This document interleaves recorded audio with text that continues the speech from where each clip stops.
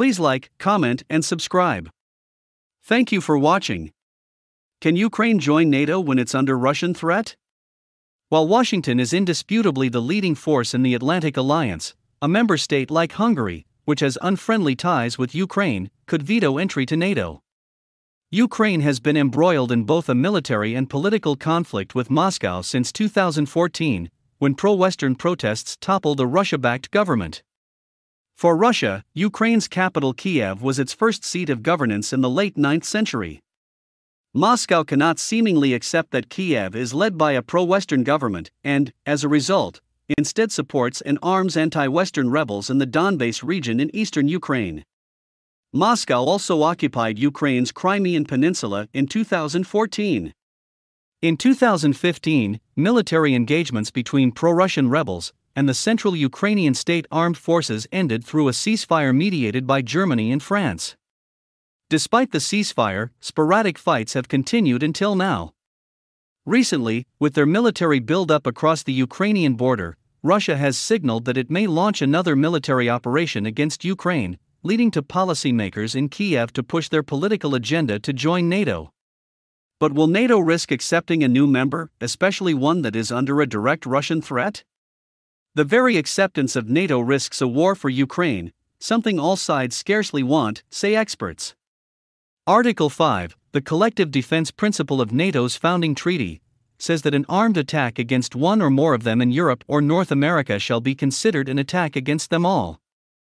The article also states that if such an armed attack occurs, each of them, in exercise of the right of individual or collective self defense recognized by Article 51 of the Charter of the United Nations, will assist the party or parties, burdening members of the alliance with an obligation to defend the attacked ally, including the use of armed force, to restore and maintain the security of the North Atlantic area.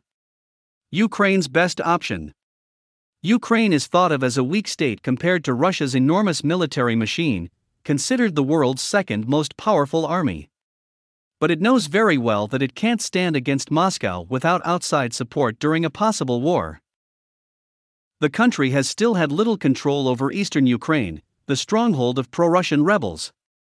NATO, which was originally established to stand against the rising power of the Communist Soviet Union, the predecessor state of the Russian Federation, is the best option for Kiev when it comes to defending itself against Moscow. NATO is the only way to end the war in Donbass. Ukraine's MAP, NATO Membership Action Plan, will be a real signal for Russia, said Ukrainian President Volodymyr Zelensky, a pro Western politician. He also expressed his hope to be invited to join the MAP this year. In the face of stiff Russian opposition, which described Kiev's intention to join the Western alliance as a belligerent topic, Americans appear to be cautious about Ukraine's NATO membership prospects. We are strong supporters of them, we are engaged with them, but that is a decision for NATO to make, said Jen Psaki, the White House press secretary, on Tuesday. Psaki's rhetoric suggested that Ukraine's NATO membership is a long shot for Washington.